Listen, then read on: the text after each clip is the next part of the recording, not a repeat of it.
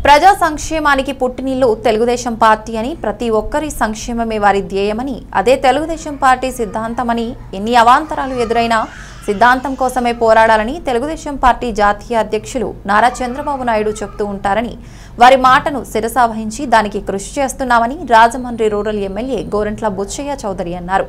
నేడు కడియం మండలం దుల్లా గ్రామం కడియం మండల తెలుగు యువత అధ్యక్షులు ముమ్మిడి దేవి నాగేశ్వరరావు దుల్లా మాజీ సర్పంచ్ గుర్రపు సత్యనారాయణ ఆధ్వర్యంలో జరిగిన మహాశక్తి కార్యక్రమంలో రాజమండ్రి రూరల్ ఎమ్మెల్యే గోరంట్ల బుచ్చయ్య చౌదరి పాల్గొని మహానాడు వేదికగా తెలుగుదేశం పార్టీ జాతీయ అధ్యక్షులు నారా చంద్రబాబు నాయుడు ప్రకటించిన మేనిఫెస్టో పథకాలను ఇంటింటికి తిరిగి ప్రజలకు వివరిస్తూ మహాశక్తి కరపత్రాలను ప్రజలకు అందజేశారు. సందర్భంగా గోరంట్ల మాట్లాడుతూ అసలు ప్రజా సంక్షేమానికి పుట్టినిల్లు తెలుగుదేశం పార్టీ అని నాడు అన్న ఎన్టీఆర్ తెలుగుదేశం పార్టీని స్థాపించి ప్రజలకు కూడు గూడు గుడ్డ ప్రతి ఒక్కరికి ఉండాలని ఆయన కోరుకునేవారని నేడు రాష్ట్రంలో ఆటవిక అరాచక పాలన సాగుతుందని జగన్మోహన్ రెడ్డి తన ఎన్నికల పాదయాత్రలో అరచేతిలో భూతల స్వర్గం చూపించి కళ్ళవల్లి మాటలు చెప్పి తప్పుడు వాగ్దానాలు ఇచ్చి ప్రజలను మోసం చేశారని నేడు అధికారంలోకి వచ్చాక ఇచ్చిన వాగ్దానాలు మరచి తన బంధుగణాన్ని పెంచి పోషిస్తున్నాడని గోరంట్ల మండిపడ్డారు. రాష్ట్రాల్లో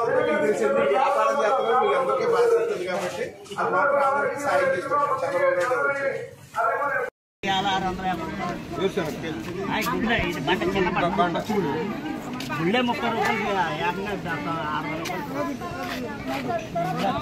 వీడు వచ్చాక బతుకులని చేతున్నప్పుడు ఇళ్ళ స్కీమ్ రెండు లక్షలు బీసీ రెండు ఫ్రీగా ఇచ్చి ఇల్లు ఎమ్మడి వీడు వచ్చాక ఇల్లు స్కీమ్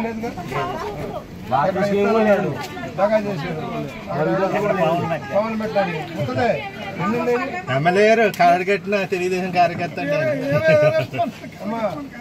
చెప్పండి బాబు రావాలి జాబు రావాలి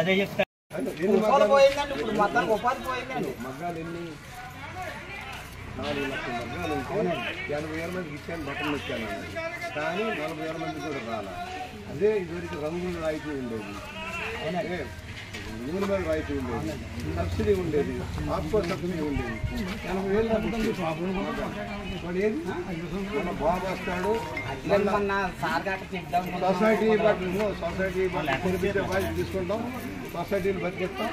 మళ్ళీ సొసైటీ మేము అందరూ పని జరిగిన గౌరవపరంగా చేస్తాం